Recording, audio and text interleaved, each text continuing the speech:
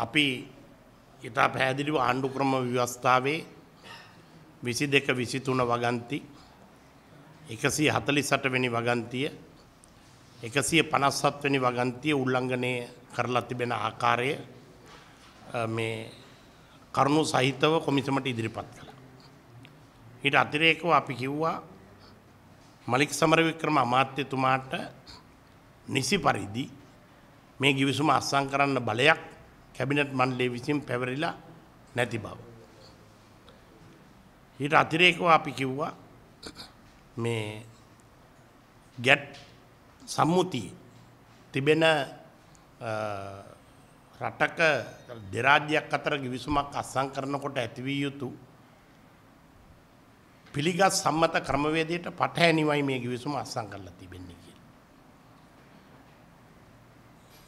ඊට ඒ අපි කියපු කරුණු තහවුරු කිරීම සඳහා අවශ්‍ය කරන ලියකිවිලි අපි කොමිසමට බාර දුන්න.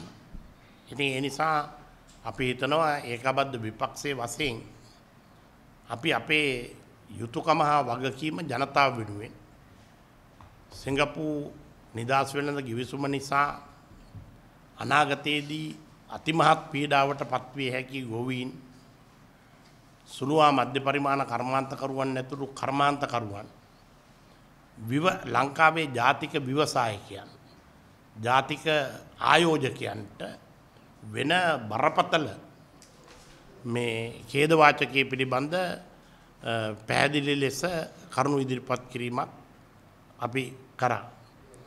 අපි අවසාන වශයෙන් මම කියා සිටිය දැනට මේ අස්සංකරපු ගිවිසුම පිළිබඳ මේ රටේ ජනතාවගේ අවසාන බලාපොරොත්තු තබලා තියෙන්නේ කරුණු දෙකක් පිළිබඳ. එකක් ඒ කොමිසමේ ඉන්න විද්වත් කමිටුවේ විද්‍යතුන්ගේ විද්වත් නිර්දේශය. දෙක අධිකරණයට පෙස්සං රාසියක් ඉදිරිපත් වෙලා තියෙනවා. ශේෂ්ඨාධිකරණය විසින් මේ රට පැත්තේ හිටගෙන ලබා දෙතැයි අපි විශ්වාස කරන සාධාරණ තීන්දුව කියන දෙක තුළින් තමයි මේ